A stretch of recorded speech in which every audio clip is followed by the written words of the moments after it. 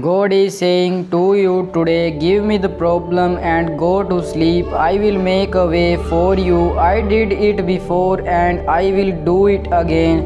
When you wake up, you will be refreshed, renewed, and ready for the new day. God is saying to you today, I have been with you through it all. I have given you everything that you need. You may be tired, you may be frustrated, but a change is coming. Hold on, I will never leave you. Your answer is coming.